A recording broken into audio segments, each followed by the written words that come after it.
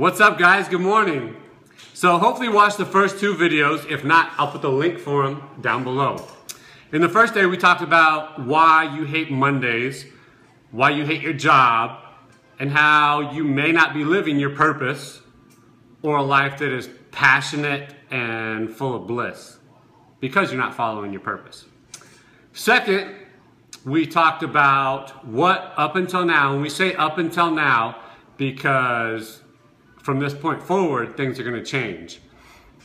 What up until now has it cost us to not live our purpose? Has it cost us wealth? Has it cost us relationships? Has it cost us our own health? Has it cost us our creativity, our integrity of doing something that is in alignment in our purpose? So up until now, what has not living our purpose cost us?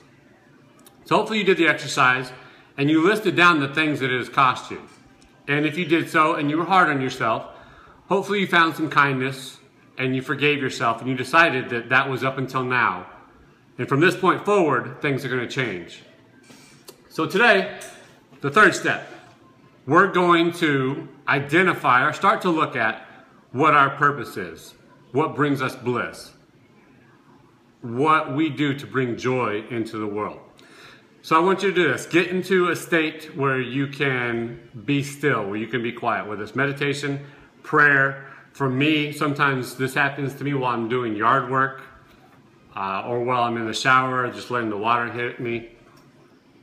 So get into a state where you can be still and you can reflect and it's quiet and think about and answer this question. If money, time, the things I put in place as obstacles were not obstacles, what would I do with my life? What would I create? What would I bring to the world? How would I make money? How would I make a living? And we're going to identify what your purpose is and what you should be doing with your life. And I want you to do a second thing. Second thing here. When you make these statements or you have these thoughts, there's going to be a second thought that comes in. That's the but thought. And the but thought is, I would love to be a writer, but I don't have the money, I don't have the time, I don't have the resources, I don't have the education or training. Nobody is going to want to read what I have to write.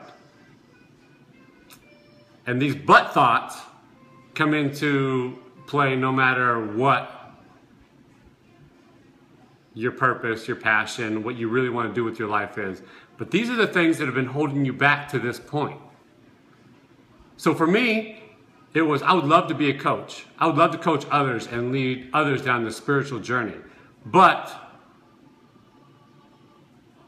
it's not making me money right now, or I don't have the time. I don't have the training.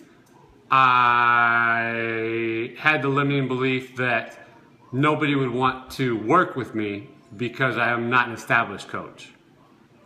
So these are the limiting beliefs. It's always that but thought, that second thought that comes in when you think about what your purpose is or what brings you bliss.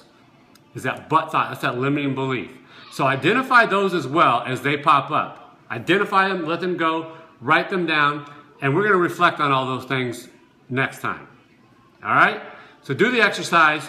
Consider what your purpose is. Consider what brings you bliss. What do you want to create. What do you want to bring into the world and be mindful and aware when those but thoughts pop up and just jot them down so that we can look at them. Those are the limiting beliefs. Those are what we're going to get rid of to help you live a purposeful life, a life that's blissful and that brings joy to the world.